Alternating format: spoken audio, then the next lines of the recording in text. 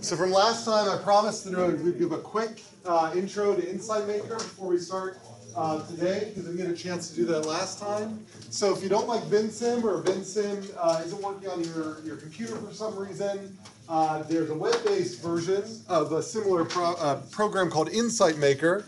You go to insightmaker.com and it's linked on the Canvas site and create a free account.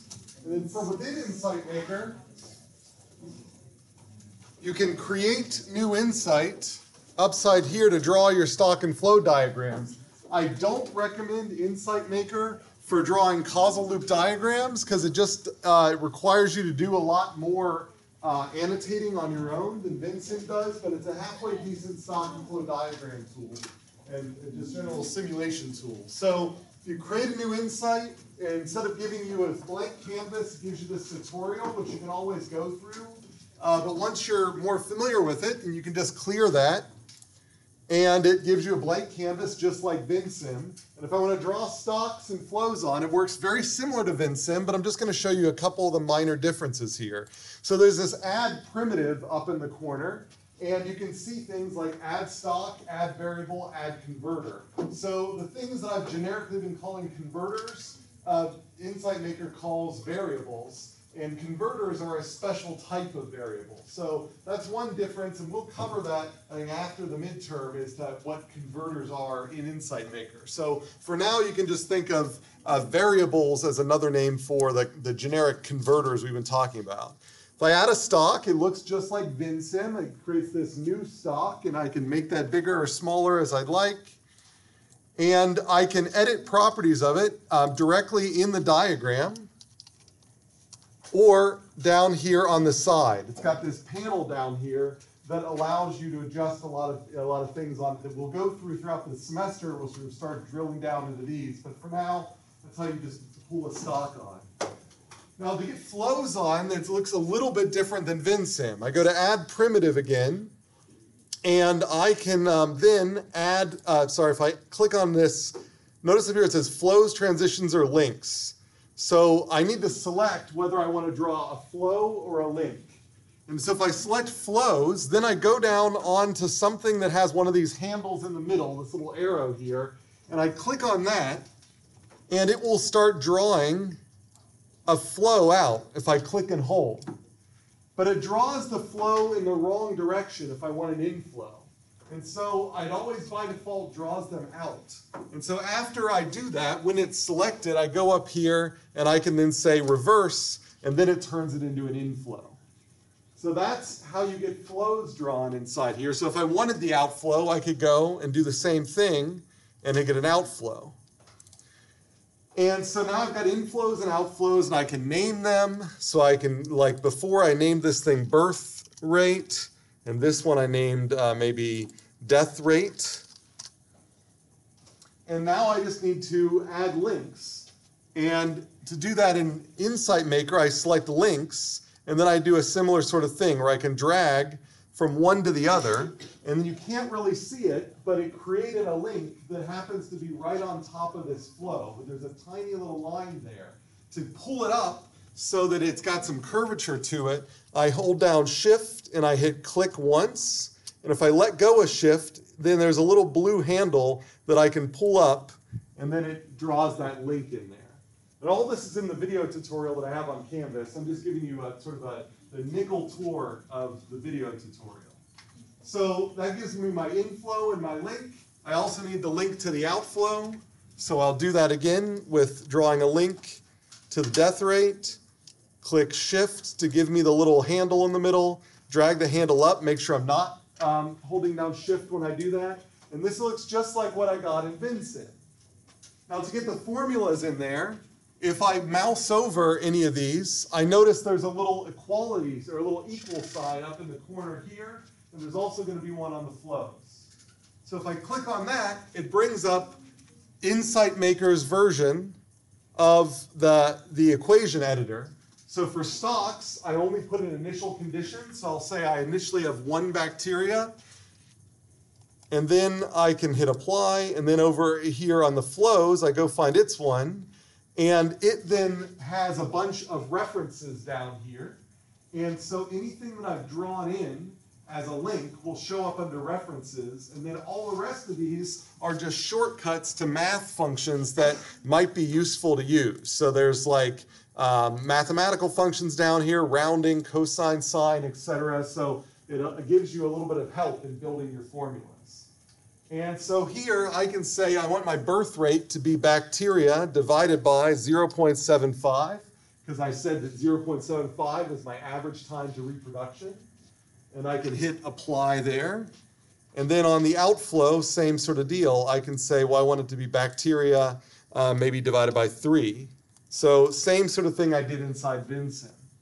So allows us to do all this stuff. Now, how do I simulate in here? Well, there's a simulate up here, but there's one thing that I haven't touched on yet is the dt value, the time step value.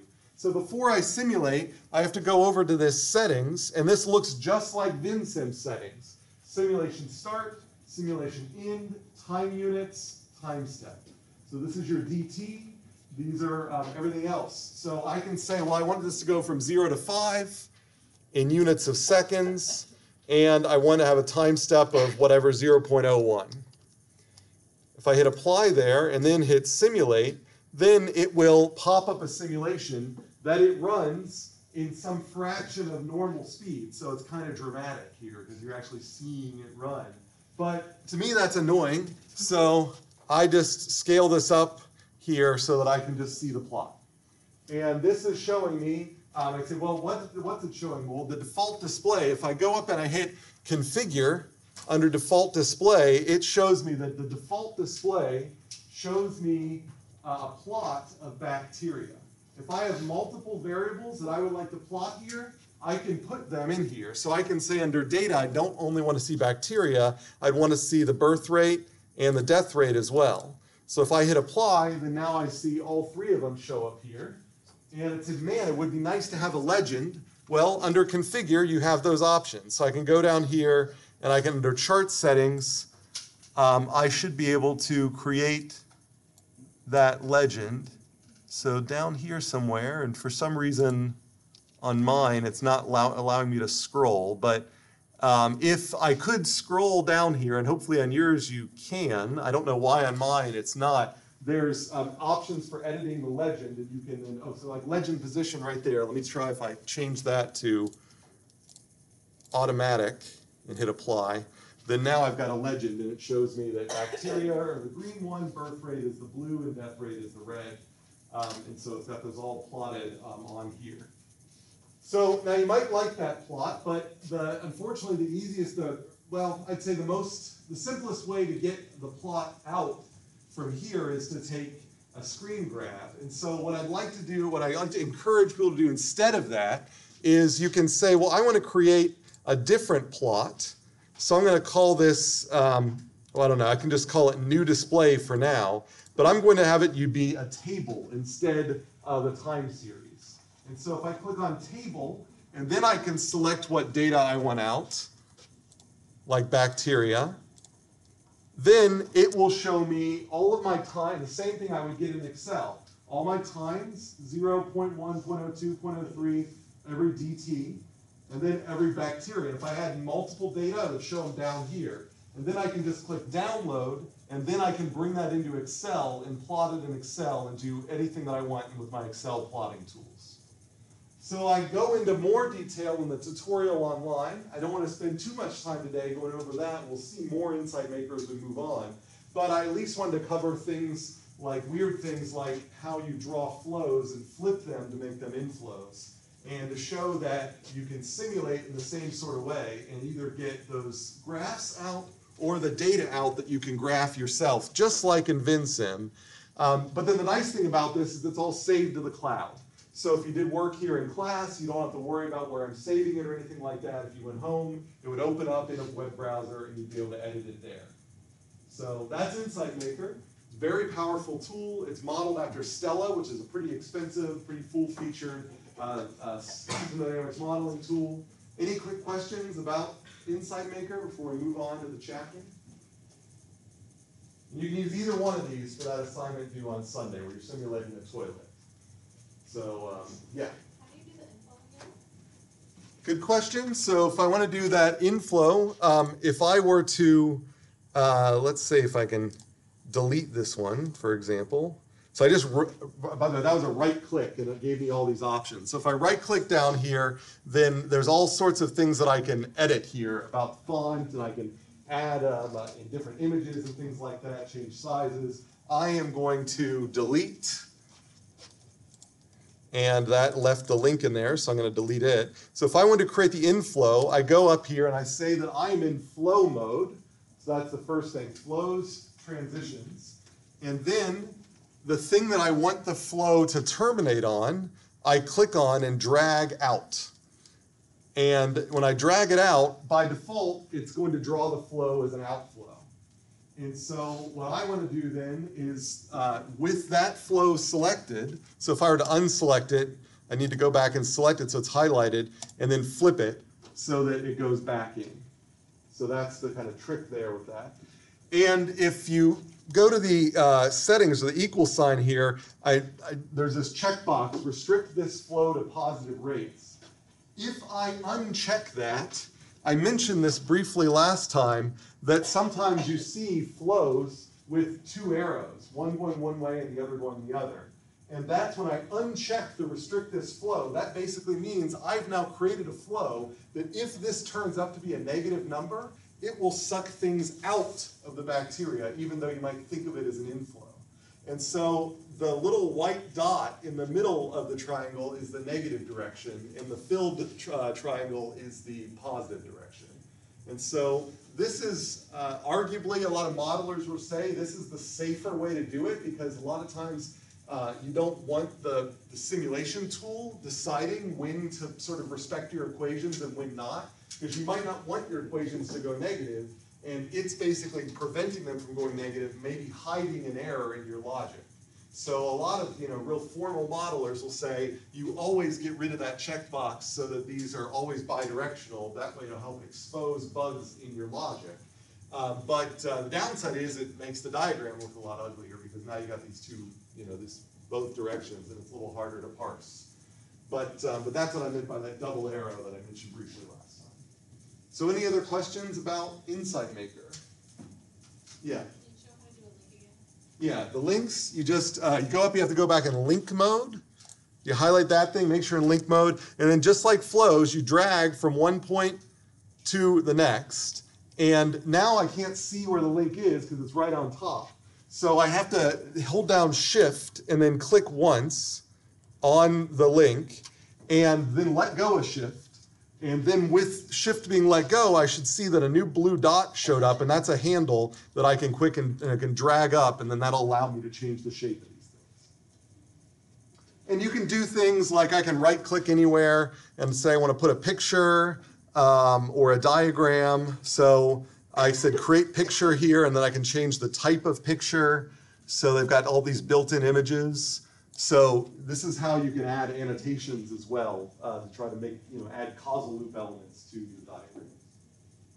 So anything else? Is it easier to do it on Insight or not? It's kind of up to you. I provide it because I think that students are bimodal in their preferences. I think some students really like Insight Maker over Vensim, but then if I, whenever I go directly to Insight Maker, not only the causal loop diagram is a little harder to make, but I find other students just really, you know, like Vensim. So it's up to you. You kind of have to figure out which, if you're really working well with Vensim, I just stick with Vensim. Don't worry about it. Vensim is also sort of a well-known industrial tool that you find that a lot of companies are using. Insight Maker they could use, but it's often viewed as more of an educational tool. All right. Okay, well let's uh, move on to today's main topic then. So I will close that out. So today we're talking about sort of how Morecroft introduces us to uh, the system dynamics models. And um, I think a little bit of a slide there to cut off here, but we just have to deal with that. So Morecroft introduces us to stocks and flows. Same sort of stuff we already talked about. So stocks, those are the big square things in the middle. They're the dynamic variables. They're levels. They're the things that change over time. And flows are the lines that represent how these stocks change over time. Flows make stocks change over time. Flows are the change in stocks over time. And so the idea here is whenever we draw something like this, so here's a simple model of a university that Morecroft used, and there's a stock of instructors, the number of faculty employed at a university.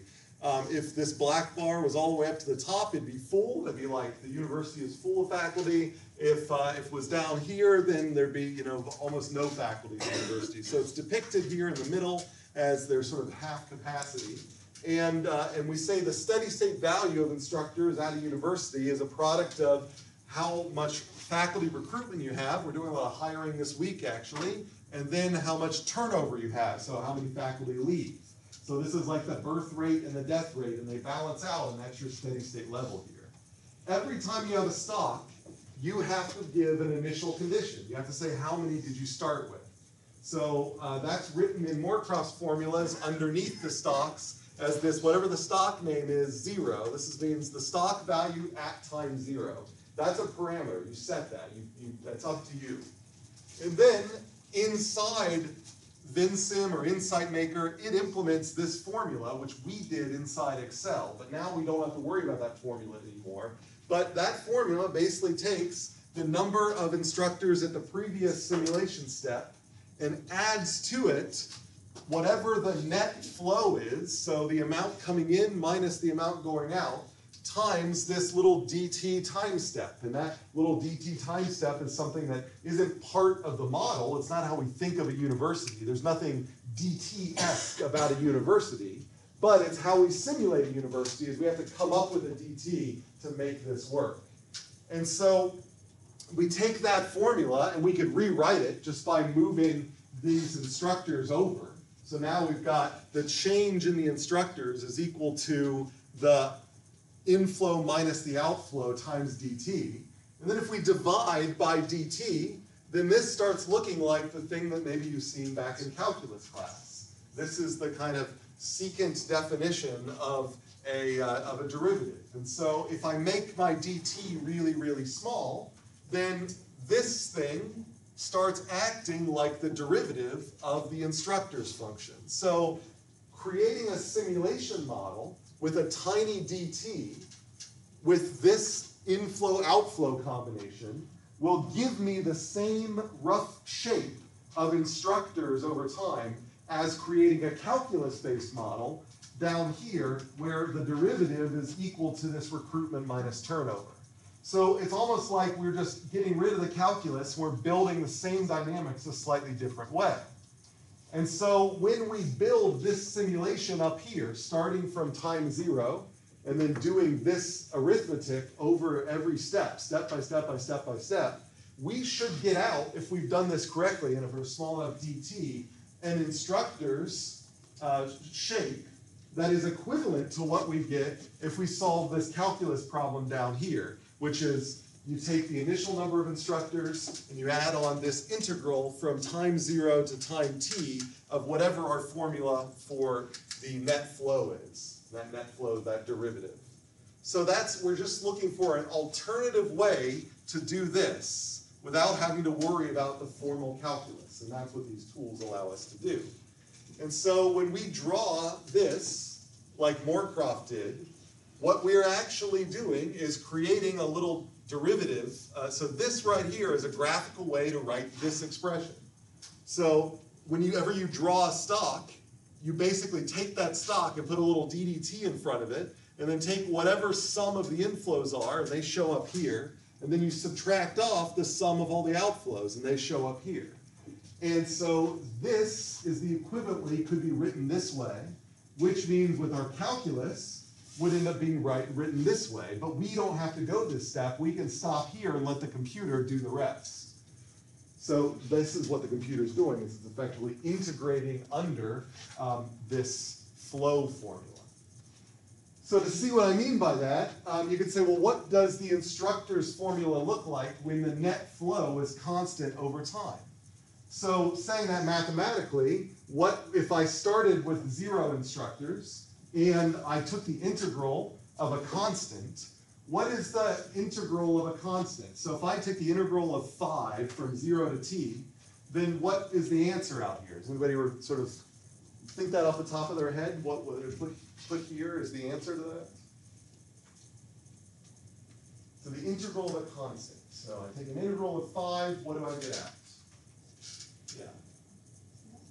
Uh, that's the derivative of constant. So think the other way around, the integral, huh? Uh, five, or in this case, five t. Right, so I get five t out. So my claim is that if I were to simulate this, where I had a constant recruitment in and a constant turnover out, and the difference between them is that the recruitment in was five more than the, than the turnover out, then I should get a rising number of faculty where they start at zero, but then they climb over time with a slope of five.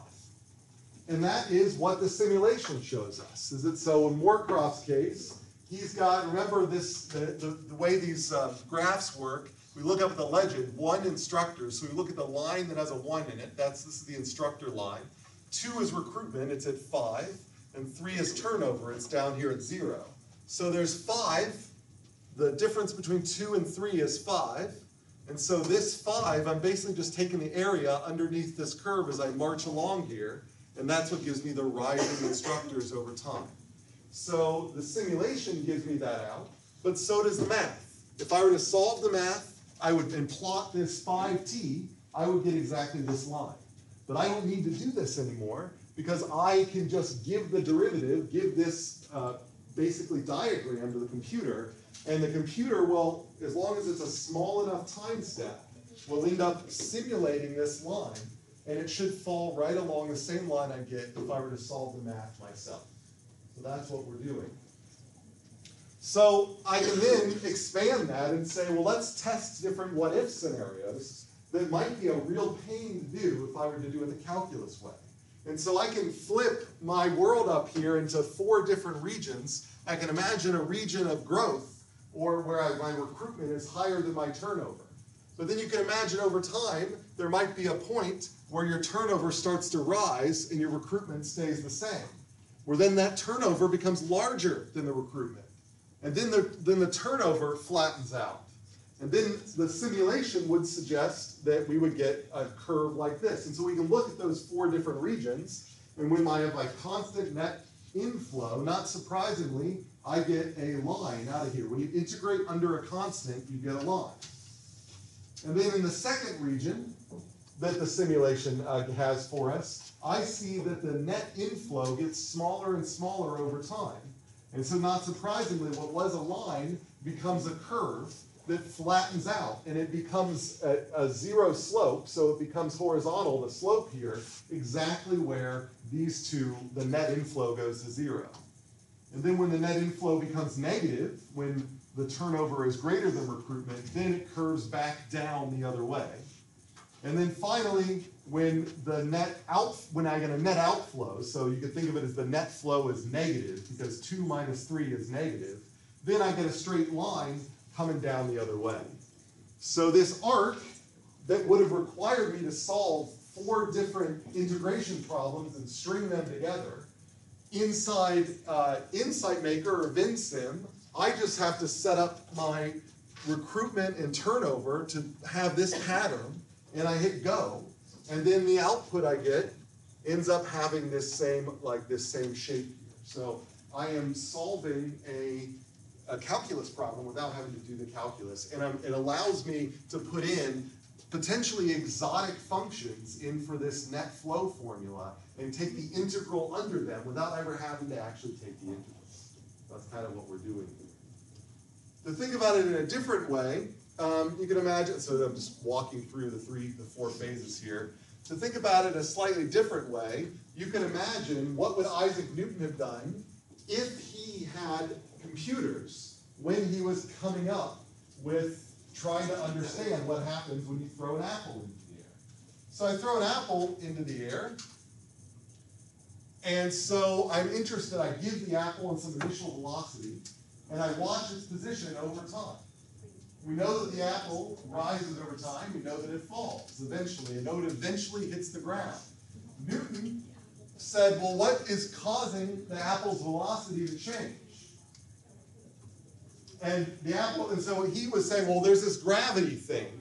And I'm going to say that the change in velocity is just equal to the negative of whatever this gravity thing is. You guys okay over there? Is there, is there an issue? She's good. Yeah. So if Newton had a computer, instead of coming up with calculus, could have maybe written it like this and said, I have a changing variable over time, velocity. And what's causing it to change over time? It's my acceleration due to gravity. So this is another way to write this expression up here. And then I said, well, how does velocity relate to the position over time? Well, position, Newton said, well, without the computer, he said, I need a formal way to model this. Velocity is just the change in position over time. So he wrote this second differential equation. Now we could draw another, you know, diagrammatically the exact same thing where you say, all right, well, the velocity, that's just the flow into the height. And so we can draw height as a stock with a flow and velocity as a stock with a flow, connect all these things together, and we have written exactly the same thing that Newton did when he sort of wanted to describe what happens when this apple gets thrown up and then comes back down. And so for Newton, he didn't have the computer to integrate through and do the tedious task of what we did in Excel. And so instead, he had to come up with a formal way to solve this expression. And so you might recognize some of this expression here from, you know, I don't know, from a physics class or maybe even from calculus. And so it's possible to take this and turn it into this expression where you've got an initial position of the apple, an initial velocity of the apple, and then you can predict this curve over time. But it turns out that if we wire this thing up the same way and hit go on Vensim, we get a position curve that looks like this, and a velocity curve starts high and goes down and looks like this. And so we get the exact same story out. And so, it, you know, it's an interesting thought problem to think about if these kind of integration methods were somehow available in the time at which Newton and Leibniz were coming up with calculus, would they have even come up with calculus? Because you could just put it into a spreadsheet. You could put it into Vensim, and this is just as interesting.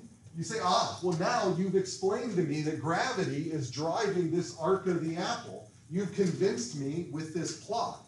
This plot is just as convincing as that expression. So why do we even need that expression if I have this plot? So you can view these tools as alternatives to the formal methods you would otherwise do in calculus. And a big reason why we still have those formal methods is once upon a time, computational methods were actually not as cheap as they are. But now, uh, you know, we've got every computer in front of you has got the power to do this that wasn't available when Newton was developing this, so this was all that they had. So that's the, the motivation behind these stock and flow models. Are there any questions about any of that? Yeah. So in the chapter reading, they um excluded, or they just put all variables like students, faculty, and instructors as just instructors. Are we supposed to keep it like more simple? That's a, a good question. So we're saying that in the chapter reading, um, this, they, you know, created the, the sort of a single stock that represented a lot of things. It just depends on how much detail you're trying to explain in your research question. So if I'm just interested in the population on campus, then why model all of them if they're all going to end up being affected by the same things? Just group them all together. But if I'm interested in how the number of, say, good quality instructors affects the number of students, then I might need to keep an independent count of those because they might not be in phase with each other. All right, good question. Any other questions about this basic mission here, how, you know, where we're going into the, the modeling of this and how we're sort of getting rid of the calculus as an alternative to these formal methods? All right, so so where do we go from there? So uh, the way, so Morecroft gives us some hints that uh, for how we build these models. And his first hint is the different types of stocks that you look for in these models. And he has these two groups: tangible stocks, which in this model were they like staff, studios, correspondence, transmitters. Can somebody define what is a tangible stock? Why is it tangible? Brandon. Um, it's Oh, sorry. it's something that you can actually attain, like in this example, like there's studios you can attain in the reading, like the staff you can attain, like those different deliverables. Mhm. And then there's like, of course, the intangible ones, which I believe were like the language and the trans, the language and the something else. Language and program quality. Right, good, excellent, so, right, so the tangibles are things that in principle, you can pick up, they're, they exist physically, they are countable, they are easy to number, you, they're easy to count, they, it's, you can't, you can, it's, it's hard to argue they don't exist. You have a number of staff, you have studios, you have correspondents, you have transmitters. But then he has these intangible ones like program quality. Well, it's hard to measure program quality. It's subjective. It doesn't exist. You can't put it on a shelf. Uh, likewise, languages. Now, you can count the number of languages that are represented, say, among your correspondence or um, among your programs, but it's still not a physical thing that is, is it, it, would, it would take sort of a, a second order inventory where you almost have to look at through all of your programs first and then from them look through and see which ones uh, are in English, which ones are in Spanish, and so on and so forth. And so they're intangible, but he claims that we need both. So, so why, why should we bother modeling something that doesn't have a physical reality? What's Morecroft's argument? Why do we care about softer, intangible stocks? Why not just stick to the tangible stocks, the apples and gravity? Yeah. Because they affect the tangible stocks and they affect the, like, ultimate number of listeners. Excellent. They could, the answer there was they affect the tangible stocks, they affect the number of listeners. They matter. So we can't get away with, uh, with excluding these because they ultimately have uh, a effect on all of these things. We don't understand the dynamics of how we get, um, you know, more correspondence and more transmitters without understanding our program quality. So even though these aren't easy things for us to count, we still need them because somehow they play a part in the dynamics of it. So we might have to invent intangible stocks that we will have to make an argue or argument that they actually exist. Someone might have said, you know, program quality doesn't matter. And you might have to make an argument that this thing called program quality matters. And you might not even know what the true program quality is. You might have to make an argument that your model tells them they need to invest in studying program quality.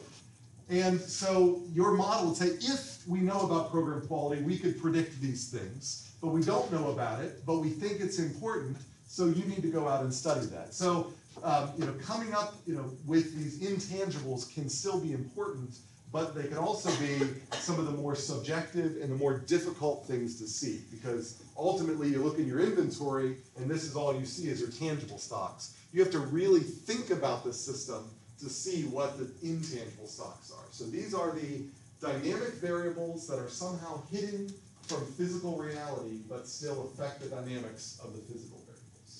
So any questions about that, difference between tangible and intangible? You'll certainly have both in the models that you build, say for your final project. Okay. So once we have our stocks and our flows, then uh, we need to link them all up together. And so these are these coordinating networks. So that was like the two-word answer to that second question that I was looking for. But if you just said causal links or something like a network of links or something like that's fine too. But basically, if we just have, whenever I have a stock, it's implied that I have a flow. And but if the flow is doesn't have anything linked up to it, then uh, it's not an interesting diagram. It's only interesting when I export and import information from other parts of the diagram, and that's what this coordinating network is all about. And so the idea being is I have uh, that I can export B and C into this variable A, and this A will end up being a formula that combines B and C, and that A itself can be exported into something else. And so these links allow us to build formulas, and they are wired up from kind of the, the right-hand side to the left-hand side. So if you need something in the formula, you have to wire it up to the thing that the formula represents. So I need B to represent A, I need C to represent A, so I wire them up that way. And then that allows me to make A depend on the dynamics going on at B and C, and so on and so forth. So that's what we mean by a coordinating network. They tie the action of all these things together. Any questions about what I mean by coordinating networks or how to form these things, you know, formulas? I want you to be able to stare at a formula and be able to draw a corresponding coordinating network. That's a feature that you can expect to hopefully acquire by the time of the midterm. Okay. All right. So the next thing is, so we're gradually bubbling up into how we make our diagrams more interesting, more complex, more realistic. And so, uh, sector maps. Now, I'm gonna, so I've, I've put some other videos on Canvas. This is, gets more advanced, but if you're interested in how to build, uh, you know, sectors that are actually sort of tucked away in convenient spots inside Vensim and Insight Maker, I've got some uh, tutorials online that I put together about that, about folders, views, shadow variables, and ghost primitives. This is something that we'll get closer to as we get after the midterm, but just sort of a heads up that those things are there. So if I draw a causal loop diagram, I might be able to argue with someone that this is how, say, a crime spiral works in a major metropolitan area. But if I actually want to simulate it, this is probably not enough detail to actually put into a stock and flow diagram. And so, and once I start adding in all of these intangible stocks and tangible stocks and coordinating networks, it becomes a really ugly and really big diagram. And so the thought is maybe I can break the task up into sectors, and then I then only then I build models inside each one of these sectors.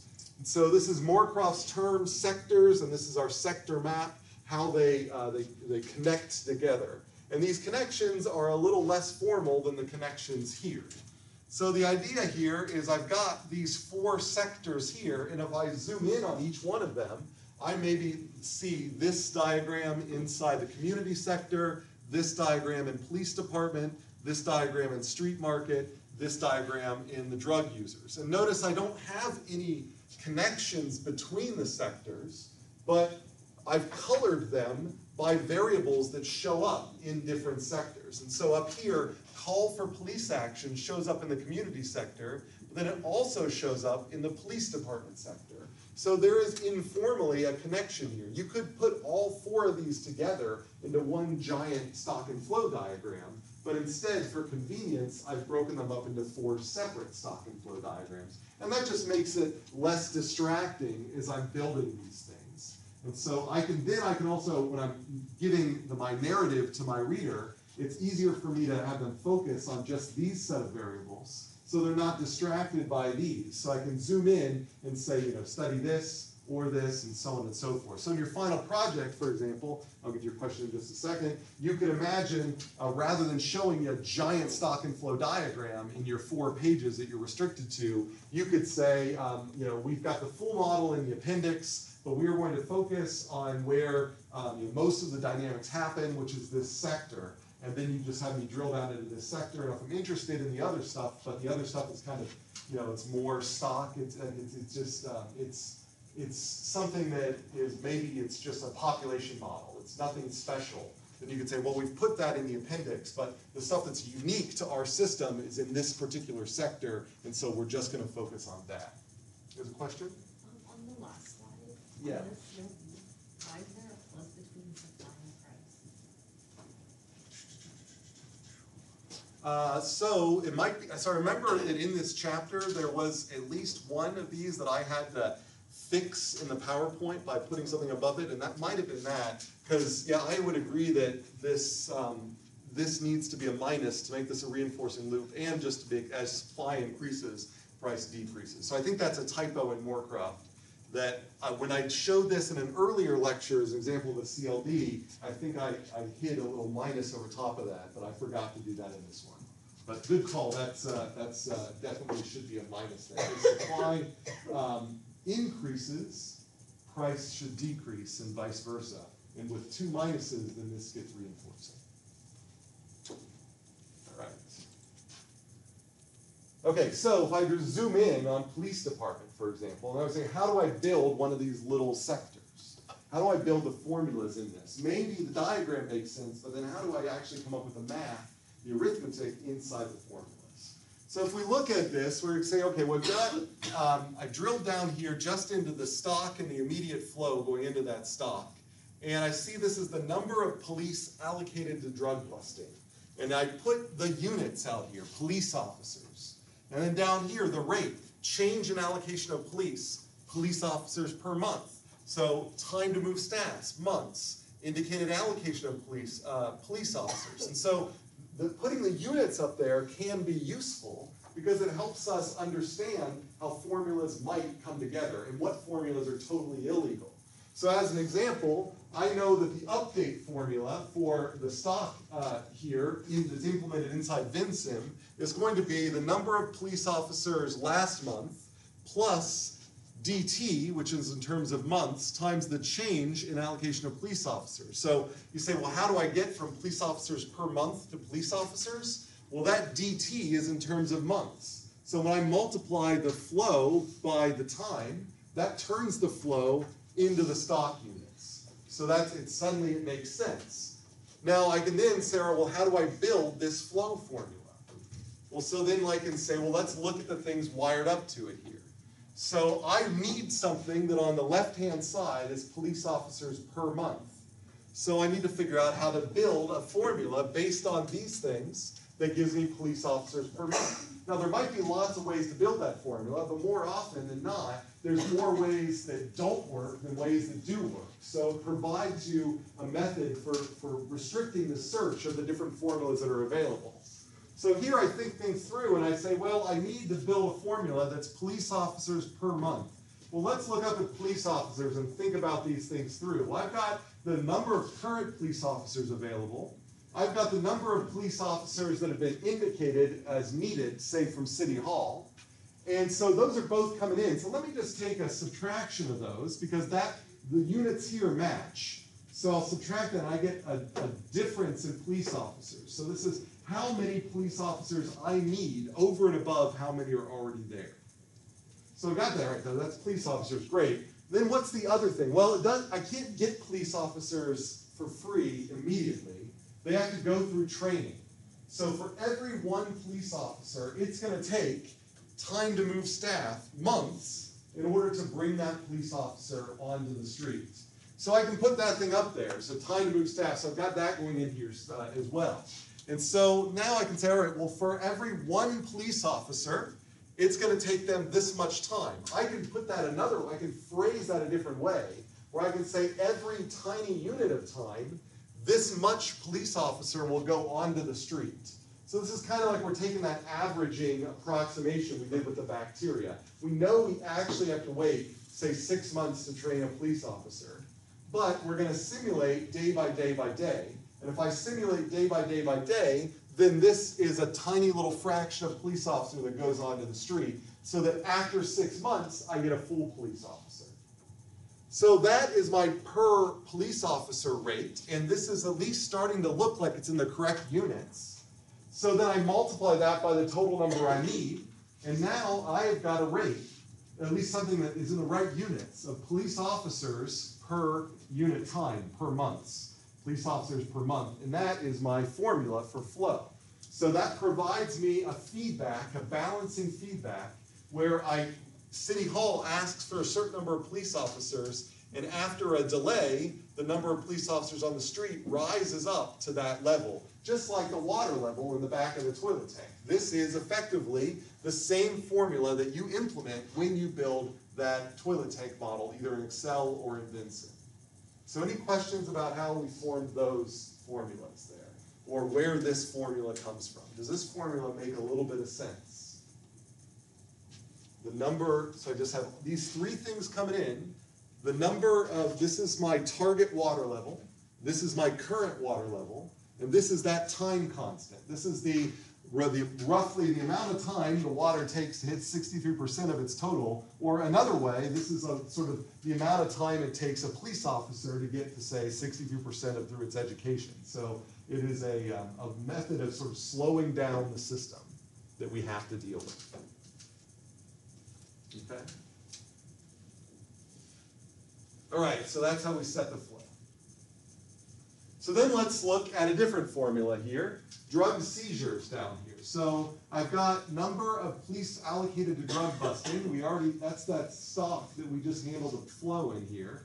And then I've got police effectiveness in drug busting. I've got this as a constant, and its units are kilograms per officer per month.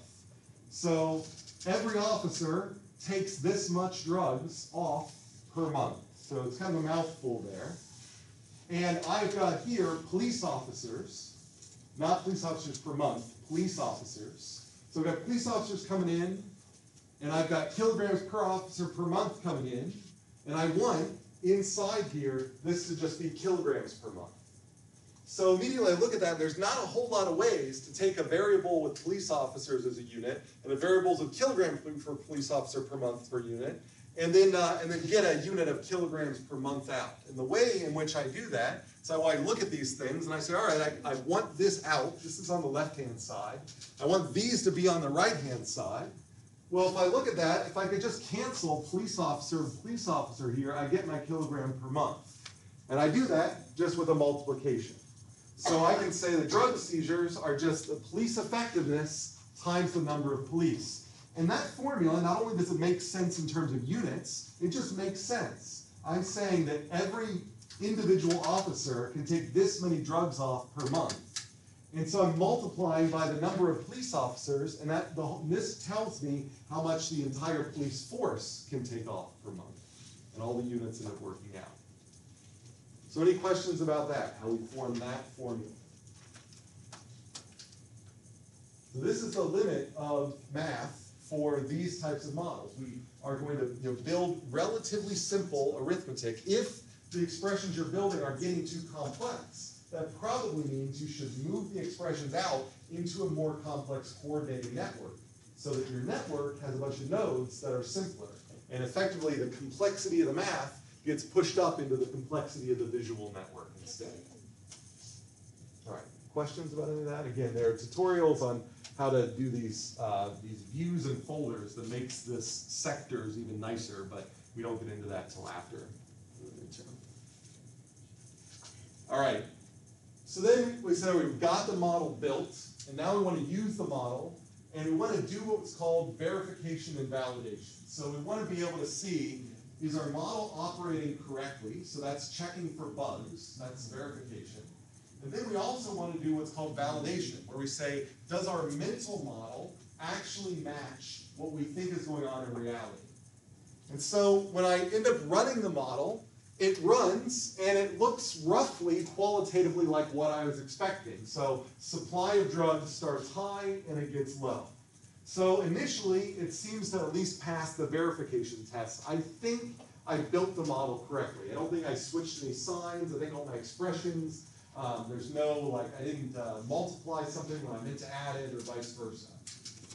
But validation, and say this starts looking unrealistic towards this end.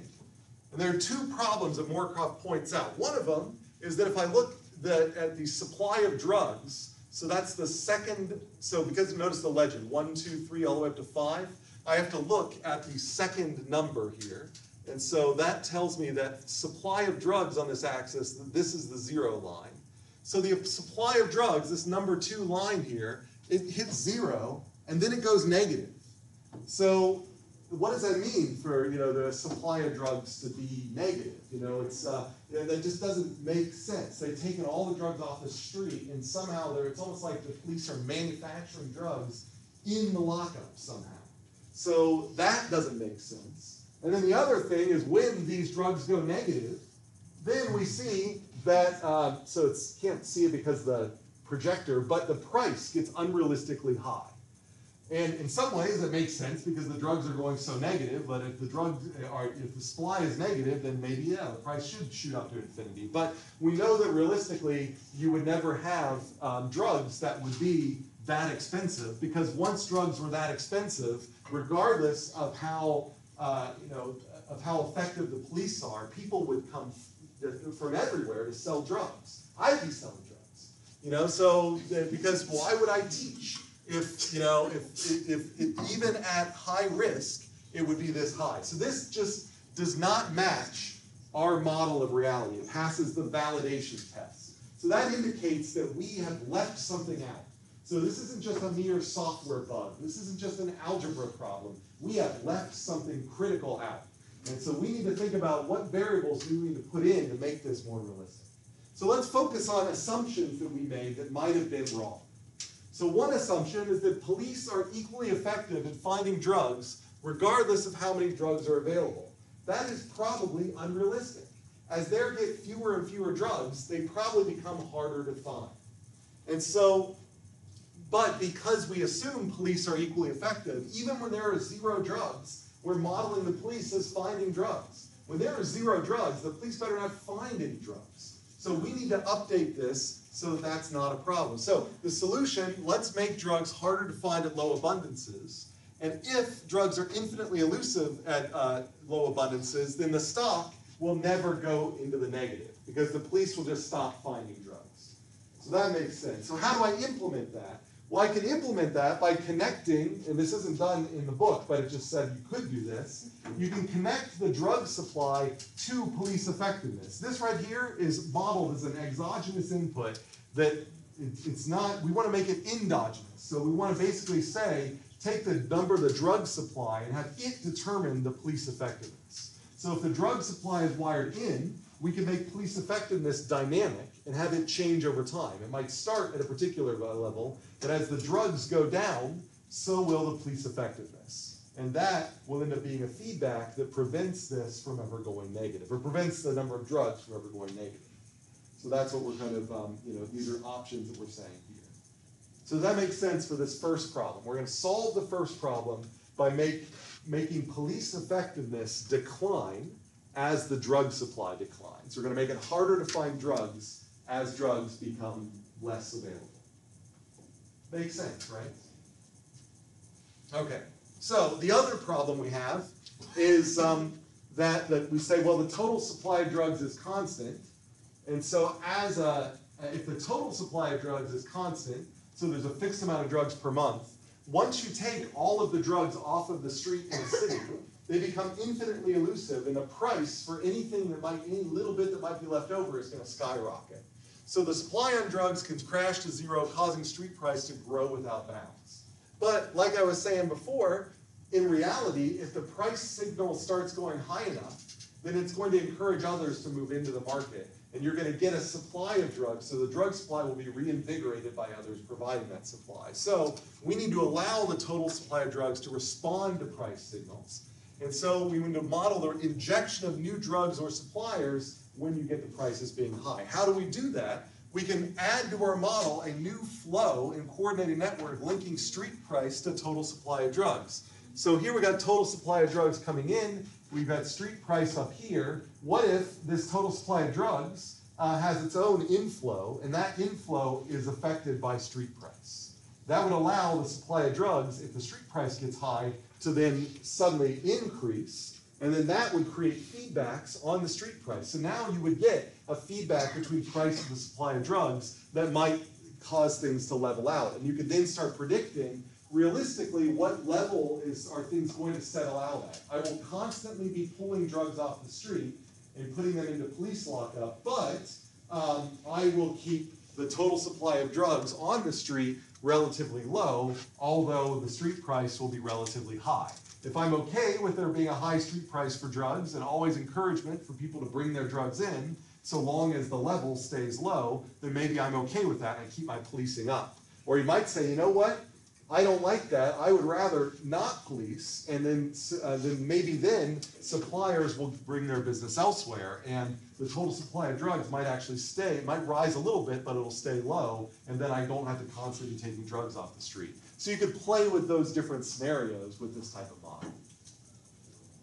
So any questions about that? Yeah.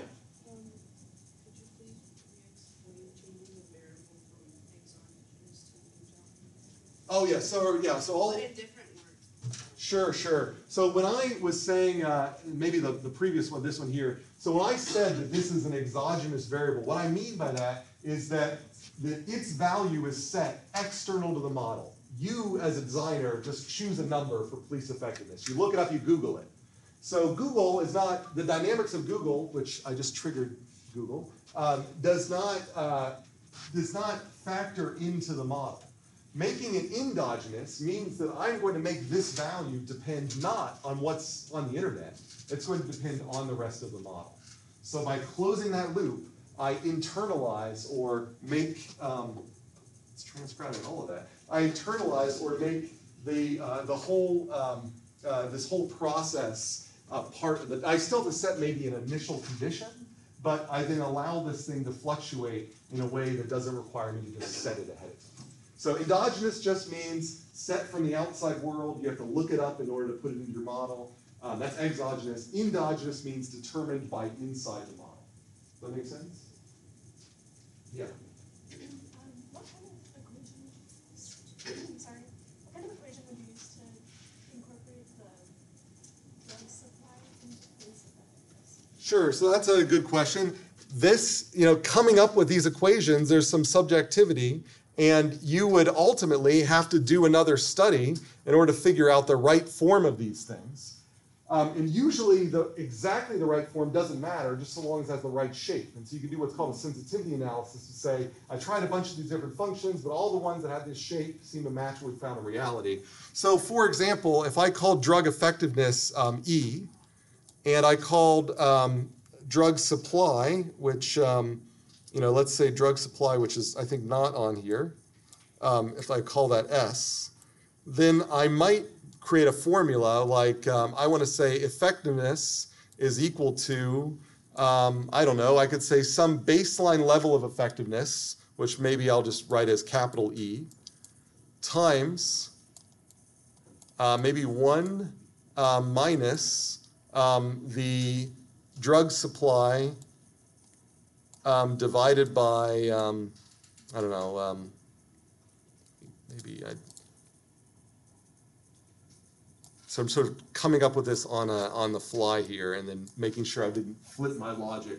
I might need to flip this thing around, but the idea is you come up with a sort of a formula like this one where in this particular case, as the drug supply became high, then the effectiveness would go low. So I need to sort of flip that. And so you can imagine what if I did, um, instead of S over K, like K over S here.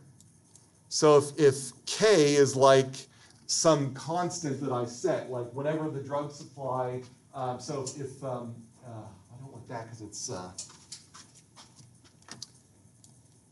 so let's net notch out all of this. So what I, what I want to do is I want a formula so that um, it its shape should look like this. As the supply gets large, as the supply gets low, the effectiveness is low. So I basically want something that maybe looks like this. So if the supply is, man, I'm just screwing up all of it today. So that, so sometime the projector, for some reason, initializes, like, so the top is, so the, what I'm trying to draw here is a function that, and it's always easier for me to draw these things out, uh, that looks a little bit like this. So that if, if supply is uh, very large, the effectiveness is maxed out. But as supply gets lower, it, it pinches effectiveness down to zero. And, um, and so there are a bunch of functions that look like this kind of S-shaped function. Um, eh, you know, like, uh, so I'm kind of looking for something like supply divided by um, supply plus some constant I'll call C, and that whole thing times E. And so a function like that is supply becomes infinite, then this whole function just becomes E. But if supply is zero, then it becomes like E over C. So it allows me to sort of say, well, the effectiveness is going to scale from E over C up to E as long as I have, as my supply goes back and forth. So, so there's a little bit of a train wreck, but I hope that makes. All right. So wrapping up here. So we um, questions there. All right. So yeah. Any other questions? Okay. So um, moving forward, uh, the um, so this is uh, lecture D4. So we've got um, the midterm coming up, and so then we'll start lecture you know, unit E. So your next chapter that's due is not due until the end of Unit E. So it's for quite a while here. So, but uh, reading through chapters four, uh, so you're going to the next chapter be with chapter six. Chapter five, if you want to read through it, may actually be some useful help when studying for this midterm. It goes over some concepts that might help solidify things that will show up on the midterm. Um, start forming your teams. The teams should be formed by the Saturday. Basically, this is the Saturday after spring break. So lecture E1 will be right before spring break. I say Saturday after, but you can insert spring break in there. I think on Canvas it's actually due the Saturday that is like just before you come back. So insert spring break between. So E1 spring break, and then I need to know who's on your teams. Then that week I will create your groups on Canvas, and then um, roughly a week after that, you write this short one to one page document or so telling me roughly what system you're planning on modeling. I know you're not going to know what the stock and flow model looks like or any of that, but say we're interested in modeling this system and here are the dynamic variables that we think are important and so on. And that's in that, that document, that information page that I have on Canvas. Uh, so then the assignments that are due and then shorter term, there's Muddiest Point this weekend, and then that assignment D3, which is just the Vensim model of the, the toilet model midterms coming up, and so uh, basically the next lecture we're going to have a midterm review. Then we have this in-class midterm, and then we'll have a retake. So basically, you can think Tuesday we'll have a review, Thursday midterm on Scantron. Uh, then on the next Tuesday we'll have the retake, and which you don't have to take. In fact, you don't have to take the first midterm if you want to only take the retake. That's fine too. And then we'll have lecture E1, which will be the Thursday before spring break and then spring break, and then that's, that's everything moving forward. So, any questions? I'll put that up while, yeah. Will there be anything like a study guide or anything like that? All that, if you go to the midterm module on Canvas, I've got all that study information there. Yeah, How many people would be team? uh, four, sorry, four person, people per team. In fact, I think I want it to be four to keep, we have about thirty people in the class, and so it makes it a little manageable, so. Unless there's a special circumstance, for people. Anything else? Okay, so, um, for attendance question today, uh, let's, um, let's say, uh, so what term did Morecroft use to represent the network of links that, uh, that tie everything together in a stock and flow model? So this was also an answer to one of the questions on the assessment. So what is the term, a two-word term that Morecroft uses to represent how all the links come together in a stock and flow diagram?